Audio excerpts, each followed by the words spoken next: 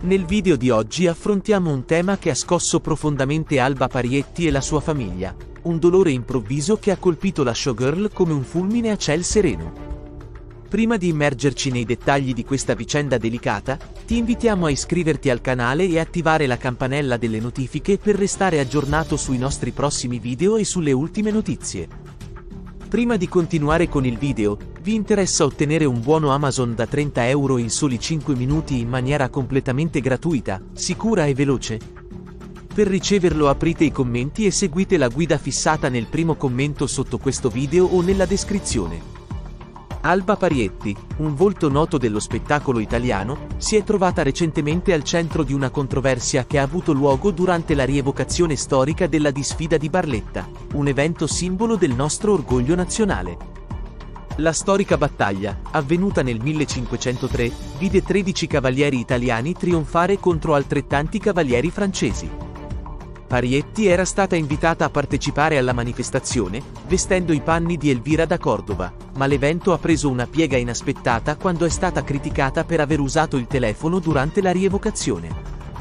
Le immagini dell'accaduto non sono passate inosservate e, in breve tempo, sono giunte fino al Consiglio Comunale, suscitando scalpore.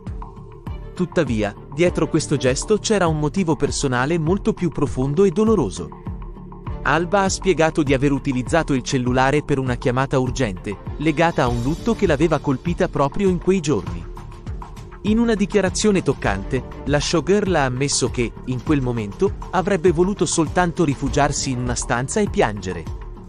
Nonostante il dolore straziante, ha scelto di mantenere il suo impegno professionale, trovando la forza di partecipare alla manifestazione.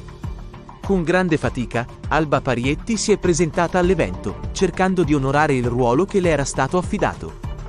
Ha spiegato che la meravigliosa accoglienza del pubblico di Barletta e il rispetto per il suo lavoro le hanno dato il coraggio necessario per continuare, anche se il peso della sofferenza era immenso. Pur non essendo a conoscenza del divieto di utilizzo del cellulare durante l'evento, ha chiesto scusa pubblicamente per il breve momento in cui ha dovuto fare quella chiamata. Alba ha sottolineato come sia stato estremamente difficile per lei prendere parte alla manifestazione in quelle circostanze, ma ha voluto onorare il suo impegno con tutta la professionalità e la forza di cui era capace. Ha concluso chiedendo comprensione, ricordando a tutti che, nonostante la sua immagine pubblica, è un essere umano e in quel momento aveva bisogno di conforto. Cosa pensi delle motivazioni di Alba Parietti?